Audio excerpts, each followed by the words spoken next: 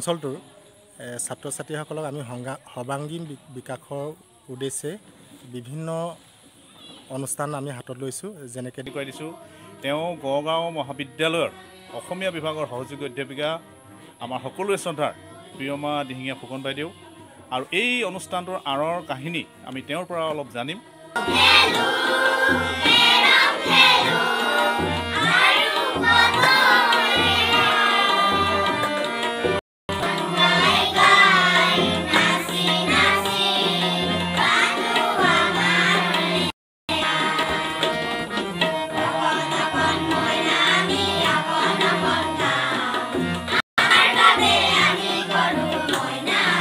Friends welcome back to my YouTube channel বড়োৱাইন মই আজি আপোনালোকৰ মাজলৈ লৈ আহিছোঁ এটা নতুন ব্লগ আৰু যিসকলে আজি মোৰ চেনেলটো নতুন তেওঁলোকে ছাবস্ক্ৰাইব কৰিব লাইক কৰিব কমেণ্ট কৰিব আৰু নিজৰ বন্ধু বান্ধৱৰ মাজত শ্বেয়াৰ কৰিব।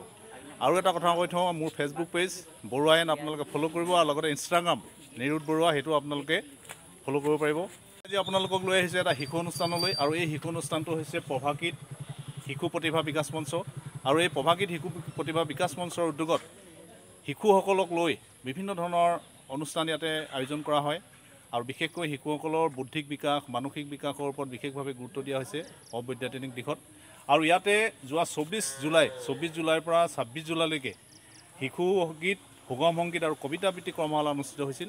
আৰু আজি সামৰণি অনুষ্ঠান। আৰু এই সামৰণি অনুষ্ঠানৰ মাজলৈ মই আপোনালোকক লৈ যাম।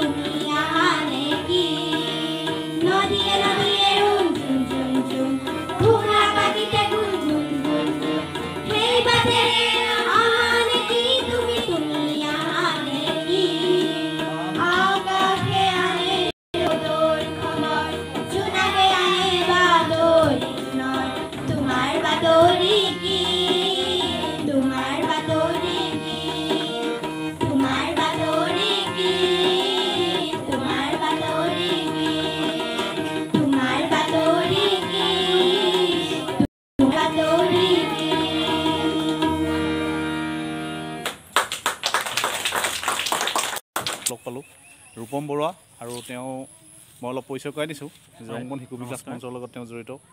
আৰু সেই সম্পৰ্কত আপোনালোকে ইতিমধ্যে গম পাব পাছত মই আজি বিশেষ নকওঁ। কিন্তু মই তেওঁৰ পৰা এটা কথা জানিব বিচাৰিছোঁ যে এই যিটো প্ৰভাকীত শিশু বিকাশ মঞ্চ এই সম্পৰ্কত অকণমান কোৱাচোন যিহেতু মই বিচাৰিছোঁ।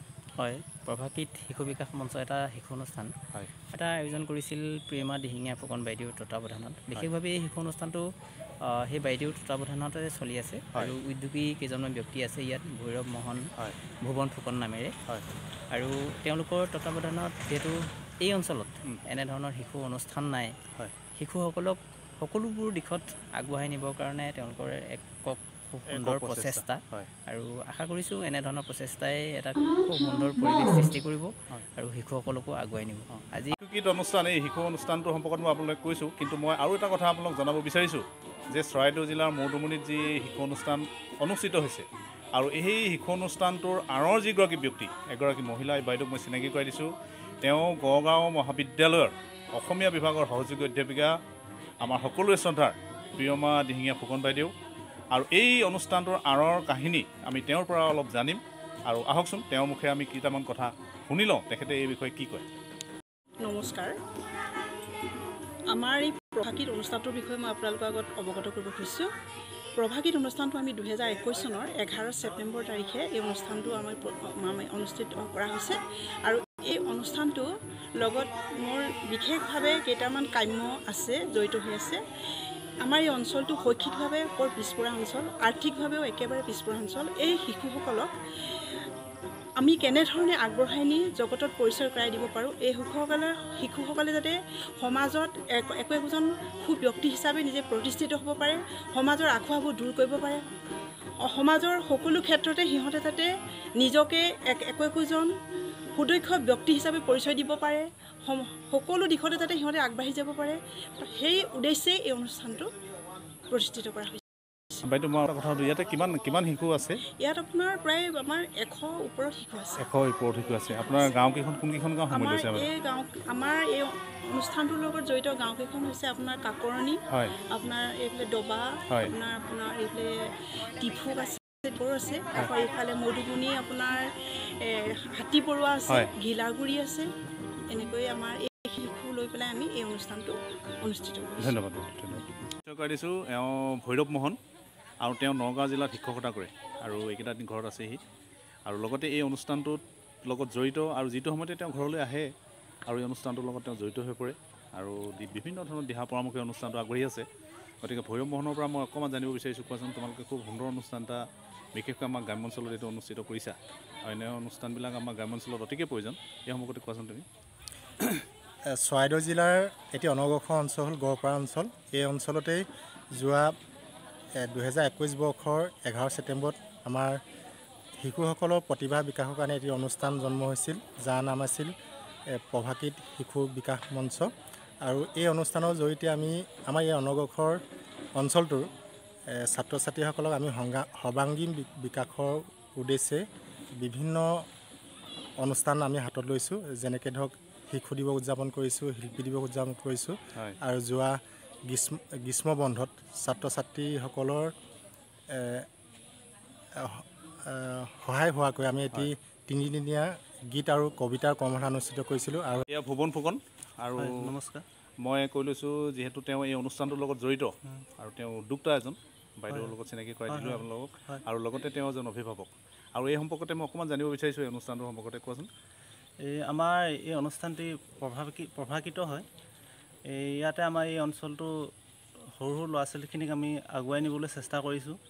যিহেতু আমাৰ খুব দুখীয়া গাঁৱৰ সৰু সৰু কণ কণ ল'ৰা ছোৱালী বাহিৰলৈ যাব নোৱাৰে সেয়েহে আমি এই অনুষ্ঠানটো সহায়ত আমি কেনেকৈ আগবঢ়াই নিব পাৰোঁ তাৰে চেষ্টা কৰিছোঁ।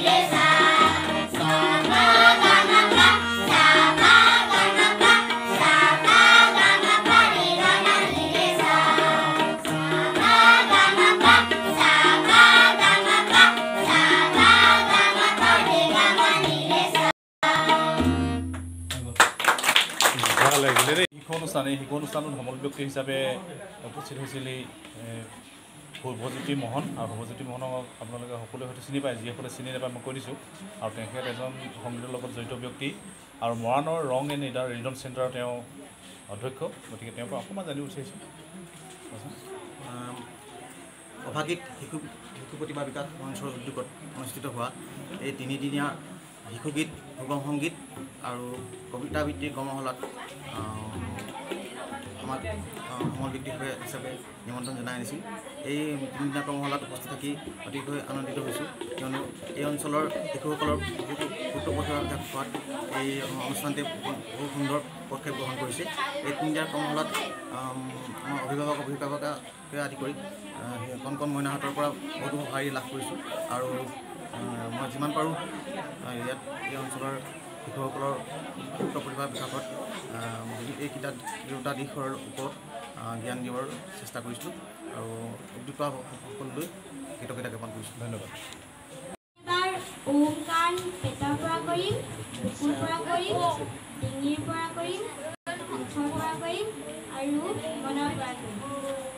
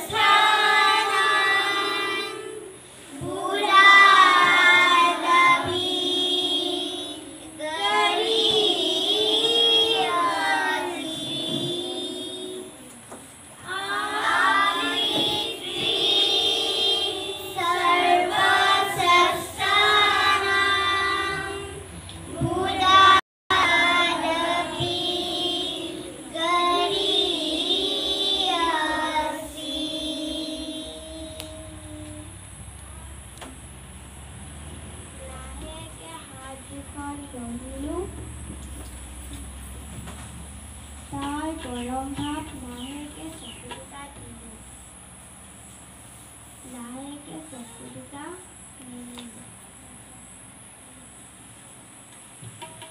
ধন্যবাদ। বাইদেউ ধৰিত্ৰী গগৈ বৰুৱা আৰু তেওঁ এগৰাকী আবৃত্তিকাৰ আৰু এই সম্পৰ্কত মই আপোনালোকক পৰিচয় কৰাই দিছোঁ। আগতেও মোৰ বহুকেইটা ব্লগত তেখেতক পাইছে আৰু তেখেতে যিহেতু এই অনুষ্ঠানটোত আহি সমল ব্যক্তি হিচাপে উপস্থিত হৈছিলহি অকণমান কওকচোন বাইদেউ। প্ৰভাগীত শিশু প্ৰতিভা বিকাশ অনুষ্ঠানৰ তৰফৰ পৰা তিনিদিনীয়া যি সুগম সংগীত শিশুগীত আৰু কবিতা আবৃত্তি কৰ্মশালা আয়োজন কৰিছিল।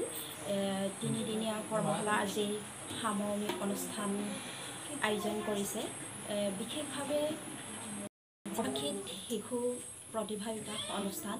এই অনুষ্ঠানটোৱে জন্ম লগ্নৰে পৰা এবছৰ হ'বহে ছেপ্টেম্বৰ এঘাৰ ছেপ্টেম্বৰত গতিকে এটা বছৰ আমি দেখি আছোঁ শিশুসকলৰ শাৰীৰিক মানসিক বৌদ্ধিক বিকাশৰ কাৰণে যি যি পদক্ষেপ লৈ আহিছে আৰু বিভিন্ন ধৰণৰ কৰ্মশালা আয়োজন কৰি আহিছে আৰু সৌভাগ্যক্ৰমে মই এই অনুষ্ঠানটোৰ লগত জড়িত হোৱাৰ লগতে এইবাৰ মই কবিতা আবৃত্তিৰ কৰ্মশালা শিশুসকলৰ মাজত দিবলৈ প্ৰয়াস কৰিছিলোঁ আৰু প্ৰায় চল্লিছজনৰো অধিক শিশুৱে এই প্ৰশিক্ষণ কালত প্ৰশিক্ষণ লাভ কৰি লৈছেহি আৰু মই এই চেগতে শিশু প্ৰতিভা বিকাশ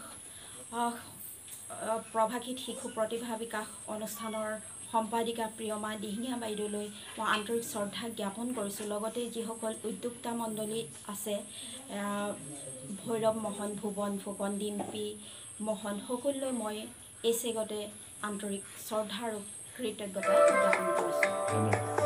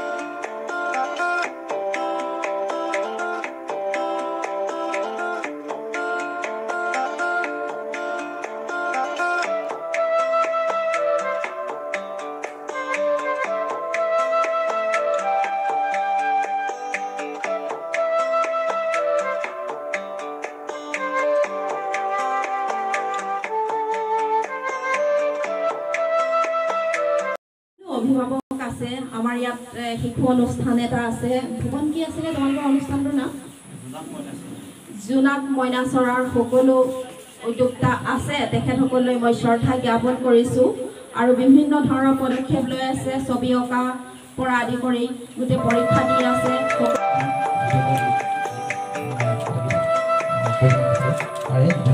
অতিথি হিচাপে নিমন্ত্ৰিত হৈছে মোহন শইকীয়া ডাঙৰীয়া আৰু তেওঁ বকতাৰ পৰা আহিছে। আৰু তেওঁ বাঁহ শিল্পৰ লগত জড়িত আৰু তেওঁ এজন শিল্পী। আৰু কওকচোন আজি অনুষ্ঠানটো সম্পৰ্কতে অকণমান কওক আপুনি যিহেতু অতিথি হিচাপে আহিছে। আজি গীত কবিতাৰে মুখৰিত কৰিব পৰা যি ব্যৱস্থা এইটো কাৰণে মই উদ্যোক্তাসকলক আদৰণি জনাইছোঁ। হয়। আৰু এটা পৰিৱেশ সুন্দৰ কৰি ৰাখিবলৈ হ'লে সামাজিকভাৱে আমি অন্ততঃ সংগীতময়ভাৱে আগবাঢ়িব লাগিব। ধন্যবাদ। এই যে কাৰ্যসূচীটো সফল সামৰণি পৰিছে আজি আচলতে তেখেতে যথেষ্ট কষ্ট কৰি আছে। আমাৰ মাজত ভৈৰৱ মোহন আছে তেখেতকো মই সন্মুখলৈ আহিবৰ কাৰণে অনুৰোধ। উপস্থিত থাকি সঁচাই খুব ভাল লাগিল আৰু মই এই অনুষ্ঠানটো আপোনালোকে দেখিলে বহুখিনি শিশুৱে যিখিনি গীত পৰিৱেশন কৰিলে বা যেনে যিসকল যিখিনি দেখিলে আৰু সঁচাই খুব বেছি ভাল লাগিল। আৰু এনেধৰণৰ অনুষ্ঠানবিলাক সঁচা অৰ্থত হৈ থাকিব লাগে। আমাৰ গ্ৰাম্য অঞ্চলৰ শিশুসকলৰ কাৰণে বিশেষভাৱে অতিকে প্ৰয়োজন। আৰু গ্ৰাম্য অঞ্চলত সাধাৰণতে এনেকুৱা ধৰণৰ অনুষ্ঠান খুব কমেই হয়। আৰু এই অনুষ্ঠান যিসকলে পাতিছে উদ্যোক্তাসকলক মই ধন্যবাদ জনাইছোঁ। আৰু আজি ময়ো আপোনালোকৰ মই বিজাই লৈছোঁ। ভৱিষ্যতৰ আহিব লগা অনাগত নতুন নতুন ব্লগ হ'ব আপোনালোকক লগ পাই থাকিম। ধন্যবাদ।